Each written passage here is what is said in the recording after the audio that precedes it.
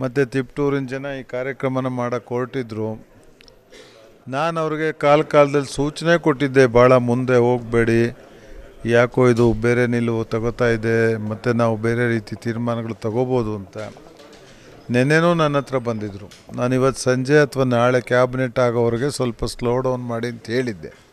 ಅವ್ರಿಗೆ ಅರಿವಿದೆ ಈ ಸ್ಥಿತಿ ನಿರ್ಮಾಣ ಆಗ್ಬೋದು ಅನ್ನೋದನ್ನು ಎಚ್ಚರಿಸಿದ್ದೀವಿ ಪೂಜೆ ಮಾಡಿಕೊಂಡು ಭಾಳ ಲಿಬ್ರಲ್ಲಾಗಿ ಸ್ಪೇಸ್ ಮೇಂಟೈನ್ ಮಾಡಿ ಡಿಸ್ಟೆನ್ಸ್ ಮೇಂಟೈನ್ ಮಾಡಿ ಅವರು ಮಾಡ್ಬೋದು ಅಂತ ನಾನು ಭಾವಿಸಿದ್ದೀನಿ. ಬಹುಶಃ ಒಬ್ಲೈಸ್ ಮಾಡ್ತಾರೆ, ಇದನ್ನು ನಿರೀಕ್ಷೆ ಮಾಡಿದ್ರು ಅವರೂ ಕೂಡ.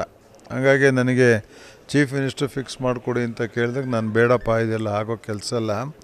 ಒಮಿಕ್ರಾನ್ ಸ್ಟಾರ್ಟ್ ಆಗಿದೆ ಕೋವಿಡ್ಡು ಇನ್ನೂ ಹತೋಟಿಗೆ ಬಂದಿಲ್ಲ ಅಂತೇಳಿ ಹೇಳಿದ್ದೆ. ಹಾಗಾಗಿ ಅವರೇನು ಭಾಳ ಮನಸ್ಸಿಗೆ ತಗೊಳೋದಿಲ್ಲ ಅಂತ ನಾನು ತಿಳ್ಕೊಂಡಿದ್ದೀನಿ.